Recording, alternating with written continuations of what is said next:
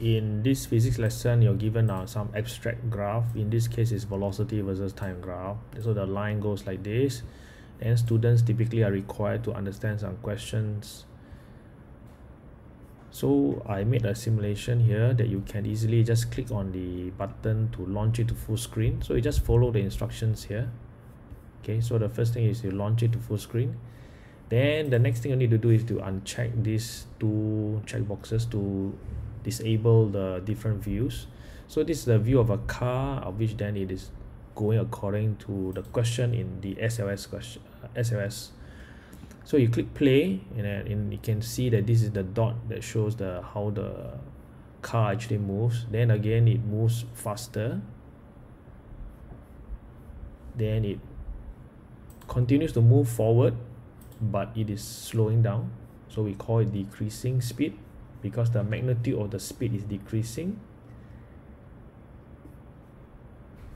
Eventually when it hits this point this is a very important point. This is where it actually if you can see this is the point where it u-turns because the velocity here is negative. So after that it is continue to increase at negative acceleration but the speed actually increases so if you answer the questions on SLS you will find that you are required to answer between 0 to 8 seconds which section of the motion has a higher acceleration. So I hope you can see that this part has a lower acceleration. You can toggle the other graph. And you can see you can see from the acceleration versus time graph then here the value here is higher than this value okay so therefore this is the 5 to 8 seconds.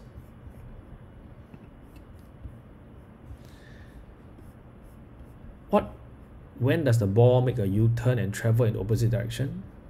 So again because you have seen the video i mean you have seen the simulation so you can actually see that it is not this point which is typically a common misconception but it's actually over here okay you can you can click replay you can click reset to play again in order to further understand this.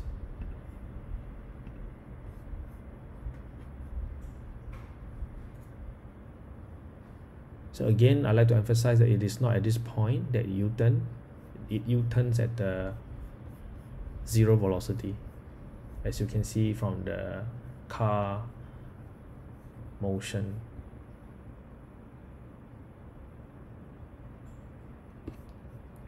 so I'm going to pause it here. Then you can see that this is the part where it starts to U-turn. Okay so the answer is 15 seconds.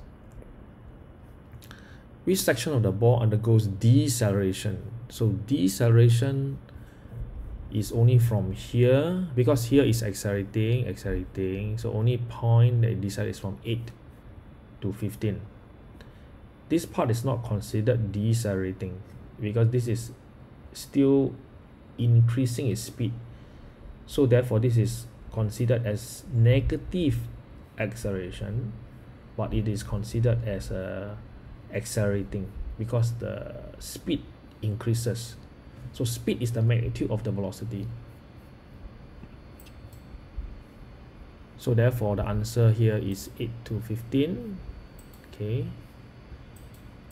negative acceleration will be from 8 to 18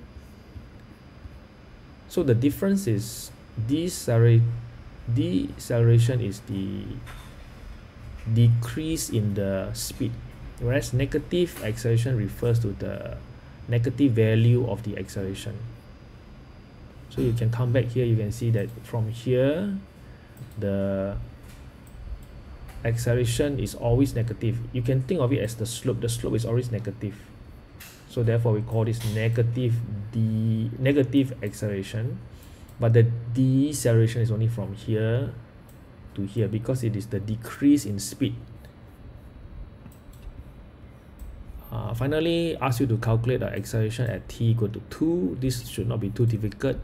What you need to do is you just find the gradient here uh, sorry find the gradient here at 2 which is the same as the gradient here.